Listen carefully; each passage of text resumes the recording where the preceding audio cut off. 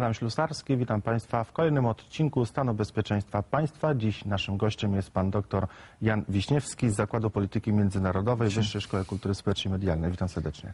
Również uszanowanie. Szanowni Państwo, Panie doktorze, e, cyberterroryzm, a stan bezpieczeństwa państwa to temat, który chcemy poruszyć. Cyberterroryzm, nowe zagrożenie. Czy na to zagrożenie również zwykły człowiek, cywil, również powinien być uczulony? Można powiedzieć, że tak, e, ta cyberprzestrzeń e, powoli nas po prostu ogarnia. Ogarnia w ten sposób, że każdy ma do czynienia e, z internetem, każdy korzysta z, nawet z telefonów komórkowych, z, ze smartfonów, tabletów, sprzętu komputerowego i to powoduje, że my musimy być przygotowani na to, że to nasze poczucie bezpieczeństwa, że nikt nie zagląda do naszych informacji, e, nikt e, nie kontroluje, jest czasami złudne.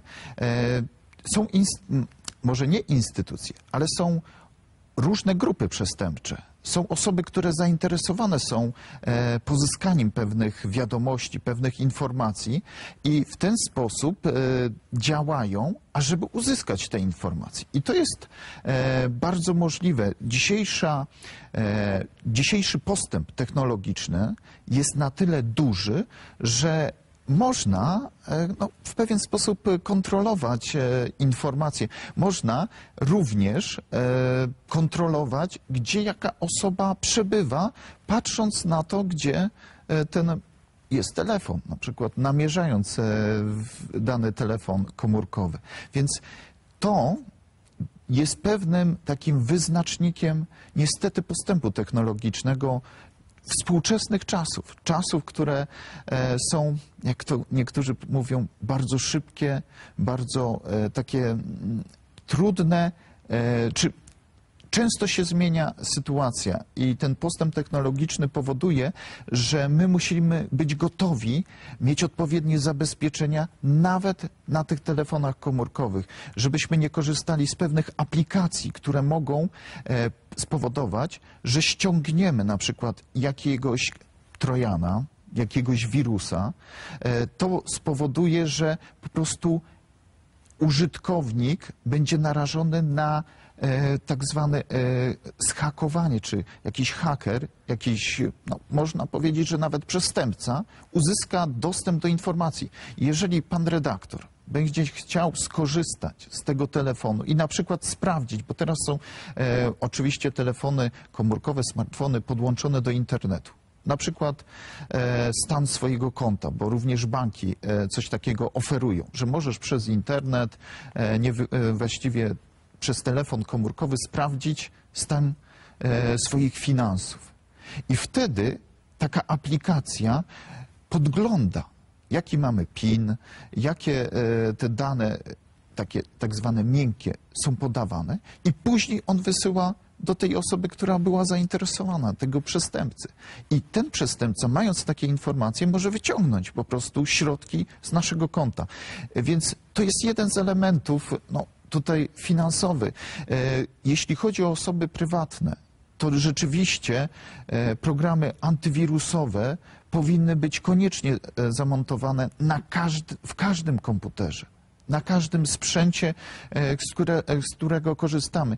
Ludzie chyba do końca nie zdają sobie sprawy, jak łatwo mogą stracić e, z tego powodu nie tylko środki finansowe, ale również ważne informacje, bo jest na przykład, są raporty różnych firm, producentów programów antywirusowych i widać, że na przykład w 2015 2016 roku znacznie wzrosła liczba ataków e, na tego rodzaju urządzenia, ataków hakerskich, e, prób pozyskania informacji. Panie doktorze, e, to jest taki wątek osobisty, a więc każdemu bliski. Natomiast e, ataki te terrorystyczne, czy też e, właśnie ten cyberterroryzm może dotyczyć również ważnych osób w naszym państwie. No można powiedzieć, że minister obrony, jeśli ma przy sobie telefon, właśnie taki smartfon, również jest narażony na tego typu ataki. Chociaż oczywiście ministrowie mają tak zwaną ochronę kontrwywiadowczą,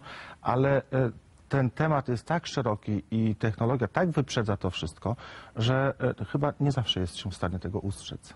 E, Panie redaktorze, poruszył Pan bardzo ciekawy temat. E, Rzeczywiście, patrząc na przykład na to, jak Stany Zjednoczone jakiś czas temu próbowały pozyskać informacje, to jest rzeczywiście możliwe.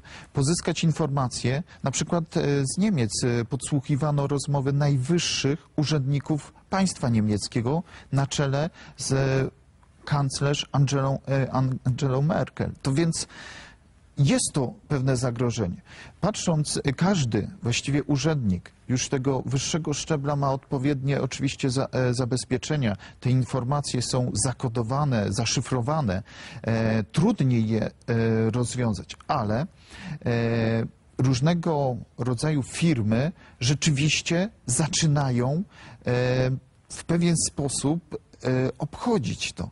Na przykład jest taka możliwość, że na przykład producent, kanadyjski producent, nie będę wymieniał nazwy firmy, e, e, został jak gdyby sprzedany. Ta firma, która produkowała te smartfony z e, sz- szyfro, szyfrującą jak gdyby aplikacją, został zakupiony przez Chińczyków. I teraz jest obawa, czy właściciel czasami nie zamontuje gdzieś pewnego wejścia, które umożliwi w przypadku no, konieczności, powiedzmy, chińskiej, e, zdobycie informacji.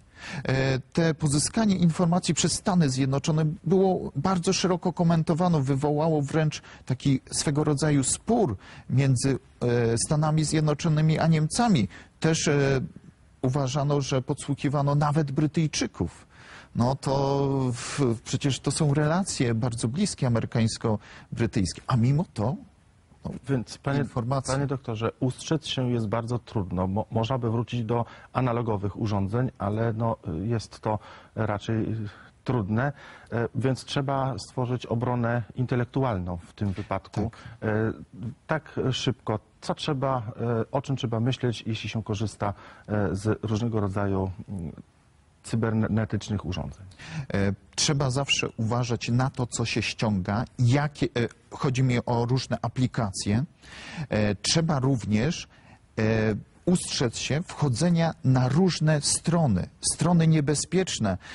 To nie tylko chodzi o ściąganie filmów czy różnego rodzaju, no niestety nawet czasami mm, pornografii, bo na tych stronach dość często są właśnie tego typu haki celowo zamieszczone, ażeby no, ściągnąć.